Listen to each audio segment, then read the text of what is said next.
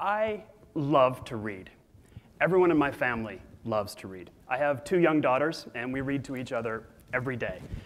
This may have something to do with the fact that we don't have a television in the house. However, it's interesting that these days I find myself more and more reading on screens. I think electronic books are a wonderful innovation. I can carry an entire library in my pocket, and I can take one author's ideas and relate them to another's, and sometimes think of a new idea. But is this innovation? One of my favorite books on the topic of innovation is called Crossing the Chasm, and it deals with the difficulty in taking the promise of a new technology to an early adopter market that will value it. But once you've done that, another similar book called The Innovator's Dilemma talks about the paradox of success and that doing the right thing might be wrong.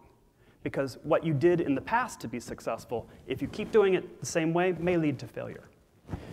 And so perhaps it's our own experience that teaches us the most that the innate ability and desire to learn begins at birth, and we're naturally curious and naturally innovative beings. But we are also social beings, and our ideas do not form in a vacuum. They're built on other ideas. And the more that these ideas can mix and be added to and shared, the more valuable they become. Steven Johnson, in his book, Where Do Good Ideas Come From, said that connectivity is the engine of innovation. And Matt Ridley, I think, nailed it when he called the topic promiscuous ideas. Because you see, invention doesn't really happen the way it's told to us in stories. The lone inventor with the epiphany moment.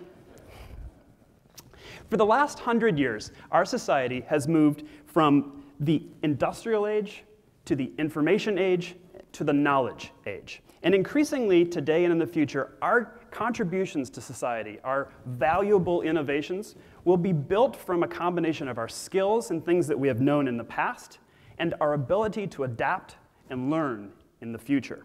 Because the pace of innovation and the pace of change in our world is going faster and faster. It's also true that we are more and more connected than ever before in history, and we have access to vast amounts of information available to us on the internet. So, if innovation over time is difficult, and change is coming faster and faster, and doing the right thing can be wrong, what's the answer? Because sometimes the path of least resistance may actually be the right way to, to go.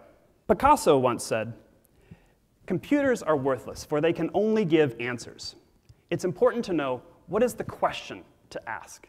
And the most valuable question to ask is how to make an idea valuable.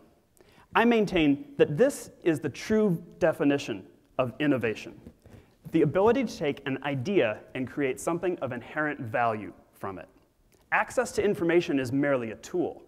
Synthesis, context, and meaning, reducing to practice, and the refinement these are delivery outputs from the innovation process. At Synapse, we use this process to connect, to connect people, to form teams, to connect brains, to form a learning organization. We're called Synapse because in the human nervous system, the synapses are the connections between the individual elements of the network. Information passes from one neuron to another to communicate intent and action. This is similar to our role in connecting innovative ideas to becoming innovative products. As an example, this is a fluoroscopic imaging technology that we developed to detect microarrays, which are essentially microscopic tiny test tubes that each individually hold a unique strand of DNA. The goal is to see what kind of chemicals might bond with each of these test tubes. And so as in genomics, there are billions of possible combinations. The name of the game is scale and density. The more test tubes per test, the better. The problem with this paradigm comes in that as the features of the chip become so small that the wavelengths of fluorescent light are no longer sufficient to discriminate them, the whole paradigm breaks down. So we asked the important question. When this chemical reaction is occurring inside these micro test tubes, you've got valence shells exchanging electrons. That's basically electricity. So what if we could monitor this electrical reaction instead of having to use it all done in the photonic spectrum?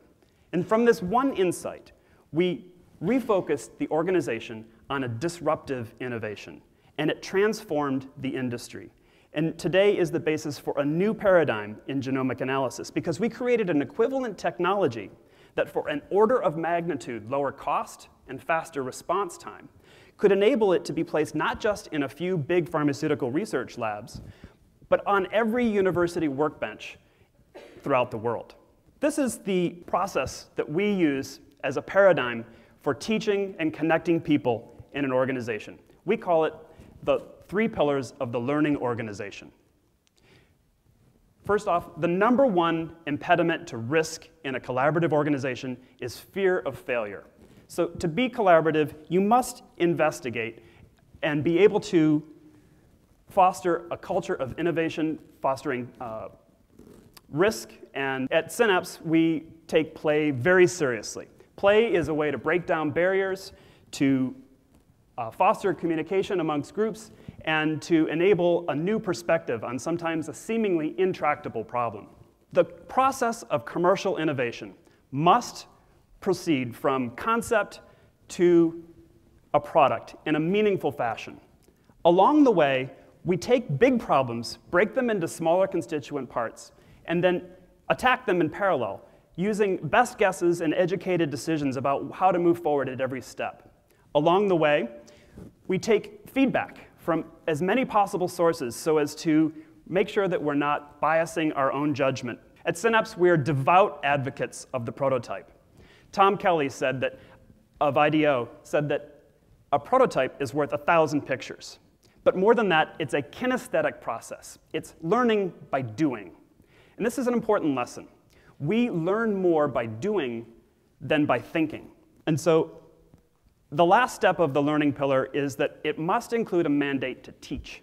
Because in teaching, it forces your brain to reconstruct memory in such a way as to explain something to someone else, like doing, but once removed. Therefore, the need for specificity and specific instructions is much higher, effectively making like a process constraint that improves the output of the work. We believe that a healthy learning environment is comprised of two complementary yet opposing sides yin and yang, comfort and conflict.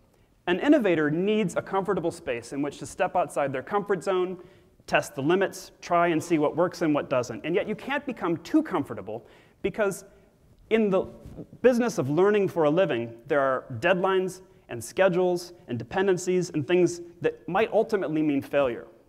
So a happy medium when you're continually reaching for growth and changing, it's very important to know who you are, what you stand for, what you do, and what you don't do.